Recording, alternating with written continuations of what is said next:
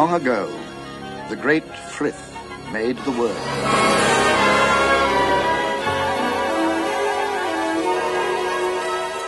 He made all the stars,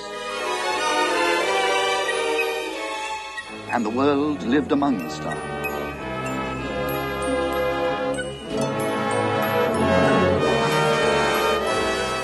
Frith made all the animals and birds, and at first made them all the same.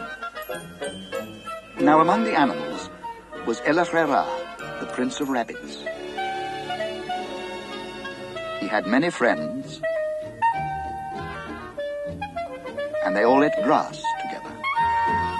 But after a time, the rabbits wandered everywhere, multiplying and eating as they went.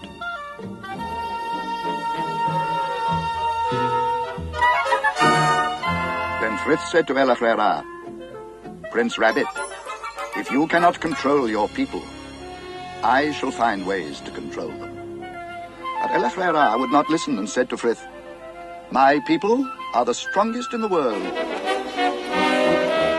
This angered Frith, so he determined to get the better of El-ahrairah. He gave a present to every animal and bird, making each one different from the rest. When the fox came, and others like the dog and the cat, hawk weasel. To each of them, Frith gave a fierce desire to hunt and slay the children of El-ahrairah.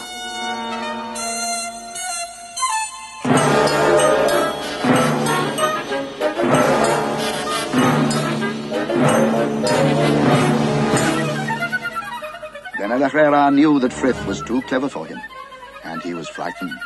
He had never before seen the Black Rabbit of Death.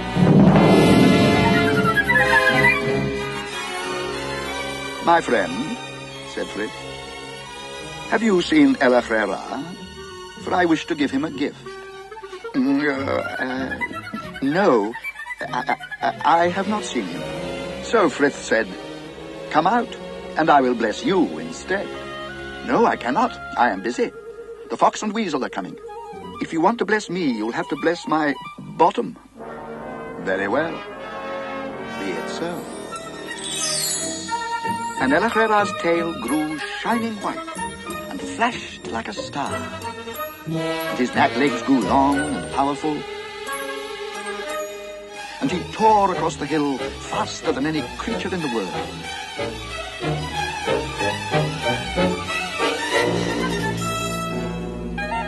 All the world will be your enemy, prince with a thousand enemies. And whenever they catch you, they will kill you. But first they must catch you. Digger, listener, runner, prince with the swift warning. Be cunning, but full of tricks, and your people will never be destroyed.